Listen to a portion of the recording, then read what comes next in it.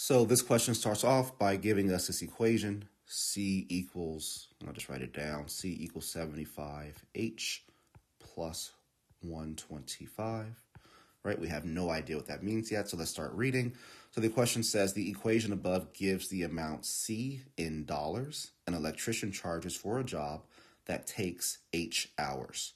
All right, so let's make sense of that. So it sounds like the electrician is making $75 per hour because we see the 75 is multiplied by the number of hours, right? So if you worked one hour, it'd be 75. If you worked two hours, it'd be 150. And then it looks like there's some type of flat fee of 125, right? So before he even starts to work, right? Even when H is zero, the uh, the cost or the charge would still be the 125. So maybe that's just for coming out um, to the house or to the job site. So let's keep reading. Miss Sanchez and Mr. Roland each hired this electrician. The electrician worked two hours longer on Miss Sanchez's job. Okay, so I'm gonna have S for Sanchez, R for Roland.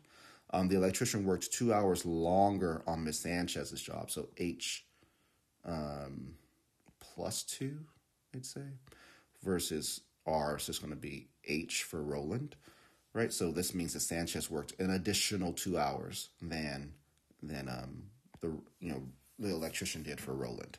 So the electrician worked two hours longer on Miss Sanchez's job than on Roland's job. How much more did the electrician charge Miss Sanchez than Mr. Roland? Okay, so this is pretty straightforward, right?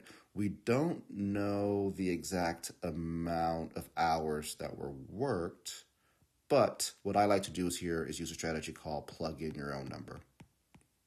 It's not required here, but it just makes things much more easy.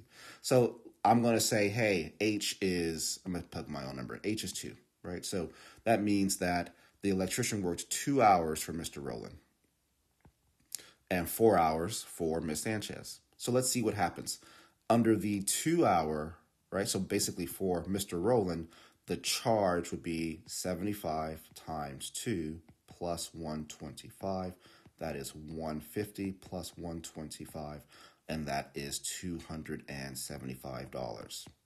But for Miss Sanchez, because the electrician worked an additional two hours, the charge would be 75 times 4 plus the 125.